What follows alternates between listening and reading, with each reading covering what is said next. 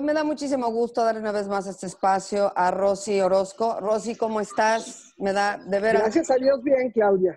Mucho, mucho gusto. Además, entendemos que estás saliendo de COVID, me comentabas. Sí. Bendito que estás bien. Tu esposo también. Gracias a Dios. Un beso. Gracias a Dios, mi querida Claudia. Es una enfermedad fea porque realmente no sabes cómo va a reaccionar tu cuerpo y bueno, gracias a Dios el mío reaccionó muy bien. Esto, quédense en casa. Yo sé que hay gente que pues dependen económicamente algunas personas de nosotros y pues a veces no puedes, aunque quieras, ¿no? Así es. Y solo hay que cuidarnos de estar con el cubrebocas, de lavarnos las manos y de, por supuesto, si puedes quedarte en casa, por favor, quédate. Ideal. Ay, mi Rosy, pues de veras festejo mucho que estés muy bien, de verdad. Y tu marido que salga de esto pronto también. Pues mira, queríamos platicar contigo, Rosy, porque como tú bien sabes, ¿verdad? El pasado 30 de julio fue el Día Mundial de la Trata de Personas. Tú llevas una lucha encarnizada contra esto, lo cual se te respeta y, de verdad se resalta. Y, y bueno, pues tú eres la presidenta de la Comisión Unidos contra la Trata. Quería darme contigo un clavado, ya lo hemos platicado, en qué va, cómo vamos, qué ha pasado, porque yo sigo viendo videos y de repente de veras es escalofrío, ¿no? Sí, por supuesto, y más con el COVID, porque te, si te das cuenta, ha crecido pornografía infantil, abusos en las casas hacia niños y niñas, eh, dejan a los niños y a las niñas adentro del Internet. Y es un peligro enorme. Acabo de conocer un caso tristísimo de una persona que trabaja como portero y su hijito de 11 años metido en el Facebook, fue captado por alguien, se, le pidió al papá 10 pesos, se salió de la casa y no regresó. Dios mío. Entonces, sí hay que tener mucho cuidado porque hoy en día estos depredadores están a la orden del día y pues sí tenemos que tener mucho cuidado con los hijos, con las hijas, platicar con ellos, explicarles los riesgos que hay en el Internet, cómo pues las captan con falsas promesas de amor, salte de tu casa, vente a otro estado, este, yo te voy a dar lo que nadie te da, en fin, eh, las falsas promesas de trabajo, te voy a pagar mucho y vas a trabajar muy poquito y pues esas falsas promesas terminan en esclavitud o las falsas promesas de fama, ¿no? Te voy a hacer cantante, actriz, vas a ser modelo, vas a estar en la portada de la revista y terminan más bien en un cuarto siendo violados o violadas todos los días. Entonces, sí hay que tener mucho cuidado, papás y mamás, porque este delito existe y le puede pasar a cualquiera. No, claramente. Estaba viendo de lo que me mandaste esta información, bueno, tal cual, que es la trata como una definición, sí sería una nueva esclavitud, la esclavitud moderna. Y se dice fácil, pero la palabra esclavitud tiene muchos, muchos aristas y muchos significados. Eh, amenaza, violencia, coacción, siempre va acompañado de engaño, de abuso, de estafa, como tú bien mencionas. Y yo de repente decía, bueno, pero ¿por qué estas chavitas jovencitas caen, no? Eh, bueno, caen, quiero pensar, porque traen un tema eh, en sus casas propiamente de carencia, de autoestima, de un contexto donde no es, no sé, explícanos tú un poco de esto, ¿no? Pareciera como muy obvio, pero no, no, sí caen. Todos y todas tenemos alguna forma de vulnerabilidad.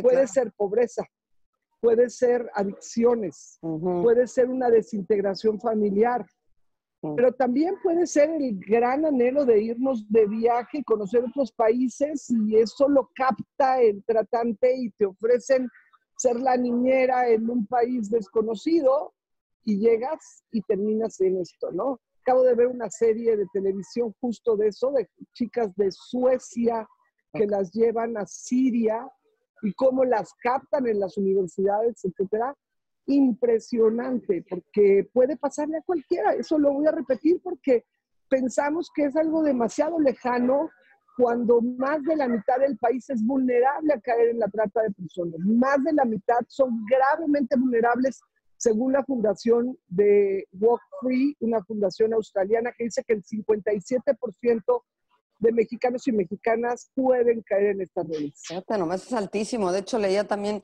es el segundo negocio ilícito después del narcotráfico más remunerante. Más de la mitad. Estos, números son tremendos. Pues, ¿cómo? Qué barbaridad. Es un negociote. Pero además también en lo que me mandaste venía que de los 32 estados eh, hay presencia de, de trata y de, de, esta cuestión directa para que te manden a Europa, Estados Unidos, la mitad casi todos los estados de la República? Por supuesto, y además no todos trabajan contra la trata, solo ocho tienen refugios, el Estado de México, la Ciudad de México, Puebla, Baja California, eh, Chiapas, Oaxaca y Tlaxcala tienen refugio. Pero desgraciadamente en muchos estados no hay refugio. Entonces imagínate, Claudia, cómo empiezas la lucha contra la trata si ni siquiera puedes proteger a las víctimas. ¿Cómo vas a lograr una sentencia si no va a tener el apoyo psicológico ni siquiera eh, legal que merecen todas y todos los que son víctimas? Es gravísimo, gravísimo que no tengan el apoyo. Ahora veo que son, eh, bueno, hombres, mujeres y niñas, y, por supuesto el 80% estamos hablando del sexo femenino, aunque también hay niños, ¿verdad? Así es, y también adultos mayores en mendicidad forzada. Nosotros abrimos el primer refugio de niñas en 2007, si recuerdas, y ahora en 2017 abrimos el segundo, que, eh, bueno, el de hombres, porque hay varios de mujeres ya, pero el de hombres se abrió en 2017, en octubre de 2017, y ha sido una experiencia increíble, Claudia. La verdad es que hay niños maravillosos. Y lo más lindo es que hoy trabajan en nuestras organizaciones, en varios de los refugios, seis personas que fueron víctimas de la trata. Uno de ellos, Luis Armando Campos, de los 14 a los 17, un productor musical en Tamaulipas, Mario Miranda, lo prostituyó, lo explotó laboralmente, lo enseñó a cantar y lo explotaba. Y este chico ya casado ahora con Samantha, que es adorable, hacen una labor fenomenal con los niños. Nadie mejor para estar con ellos que una persona que lo vivió. No, pues claro. Y además les enseña a cantar y están los niños tan contentos. Eh, por otro lado, trabajan con nosotros Sunduri, ¿te acuerdas? Ay, claro, Sunduri, sí. La conociste? Sí, divina Ella está niña. con nosotros, hace una labor bien bonita con los niños, con las niñas. Eh, Guadalupe Carrasco, que es pues de las víctimas de Sergio Andrade, ella eh, da clases de artes manuales, de artes marciales y de baile brasileño. Camita de la Cuesta, que pues también es otro caso igual, y es pues ella de, eh, tiene su propia organización, da muchas conferencias, mm. es fenomenal. Carla Jacinto, que también la conociste, que ella fue víctima, ¿te acuerdas? De los 12 a los 16. Sí, ella también está con nosotros. Entonces, lo más hermoso que le puede pasar a esto es que las que fueron víctimas o los que fueron víctimas sean en un futuro quienes lideren en todo el país esto. Eso es lo que más ¿qué pasa, ¿Qué pasa con la ley? Porque entiendo que esta ley contra trata está desde el 2012, ¿no? Y a partir de ahí, pues se han hecho esfuerzos, pero pareciera que más son individuales que a nivel federal. Eh, ¿Qué pasa ahí? Podrían, podrían aplicarla todos los estados si quisieran. Lo que pasa es falta de voluntad política. Tú puedes ver tanto en las procuradurías, en las fiscalías, como en los estados de parte de los gobernadores. Cuando hay voluntad, cierran los giros negros, primero que nada, porque no puedes decir voy a acabar con la trata, abrir todos los malditos giros negros y luego ir como gotitas en el océano haciendo poquito para que no te digan. No, a ver, cuando hay voluntad, cierran los giros negros, como lo ha hecho Coahuila, como lo está haciendo Tamaulipas, como lo ha hecho el Estado de México, mucho en Chiapas, mucho en la Ciudad de México. ¿Y cómo lo hacen? O sea, cierran parejo, no, no, va a haber no. que no permite más que como es la campaña de la ONU, ¿verdad? Pues estamos en el Día Mundial contra la Trata, que empezó con la campaña de Corazón Azul, esta campaña tan hermosa, yo siempre traigo mi corazón, mis aretes que me hizo Tania Moss, tan lindas, Mira. y siempre me los pongo para recordar la frase de la ONU, el ser humano no está a la venta, punto.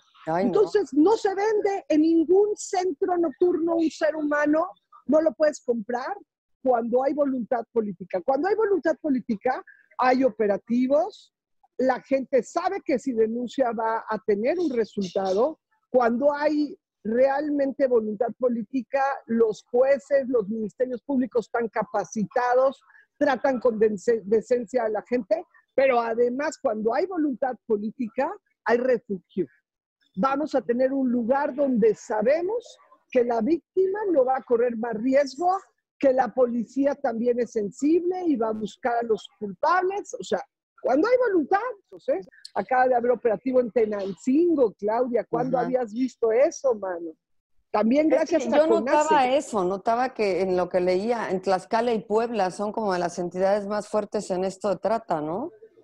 Sobre todo de familias, eh, que se hizo una cultura de familias que enseñan a los hijos, a los sobrinos, a los vecinos, y que no quieren trabajar los hombres, quieren que estas mujeres sean explotadas, trabajen. A mí me da tanto coraje cuando alguien dice, es que tienen la vida fácil. No, bueno, la fácil la tienen los padrotes, o sea, la difícil la tienen las víctimas. Sí, por supuesto. si no regresan con el dinero, pues van a vivir una golpiza, Claudia, van a vivir una súper mega golpiza. Entonces, ahí en Tlaxcala, sobre todo ahora, sí hay una voluntad increíble de parte del gobernador, de parte del fiscal, de parte de policía, de parte de ministerios públicos excepto algunos jueces. Hay jueces muy buenos, pero hay jueces que están dejando salir a tratantes y que cuando lo hemos dicho todavía además nos amenazan. Entonces, sí es muy desgastante. así, así ha sido en todos lados. Así hemos tenido que, empezar. Sí, es de muchas partes, Rosy. Es, es, multidisciplinario, porque si uno no ayuda, ¿cómo le haces, no? Tú sola no se puede, ni como un civil mortal, cualquiera no se puede solo. Aquí sí tiene que sumarse esfuerzos, ¿no? así decía yo, es un monstruo de muchas cabezas y tienes que ir abordando cada una hasta lograr que en un estado todo funcione, ¿no? Ahí ves cuando quieren trabajar. En cambio, tenemos muchos fiscales y mucha gente, pues nadando de muertito, que se vanaglorían de un caso que lograron en todo un año y que en verdad es una vergüenza que se les pague porque es igualmente corrupción pagarle a alguien que no hace el trabajo que le corresponde. Claro. Ahorita felicitamos a los que sí hicieron ahorita dos operativos en Cancún y en Playa. Felicitamos de veras al fiscal Montes de Oca, qué bárbaro, porque rescataron a muchísimas jovencitas. De veras, es un trabajo increíble. A mí me gusta muchísimo cómo lo explica Santiago Nieto, el doctor Nieto, que es un gran, gran aliado, un héroe, que además de veras cómo arriesga la vida en todo lo que hace, qué impresión. Pero me encanta porque él mismo también habla de estos giros negros como un lugar donde todos los derechos humanos son pisoteados. Podemos ver en estadísticas que el 40% de las chicas que están en situación de prostitución mueren en feminicidio. 40%, Claudia, que tienen 12 veces más posibilidad de quitarse la vida a ellas, de suicidarse, que toman 4.5 veces más medicamentos psiquiátricos por la depresión, por la falta de sueño, porque es una violencia que te compren como objeto, como... No, no me queda claro, ¿eh? Siempre será una violencia.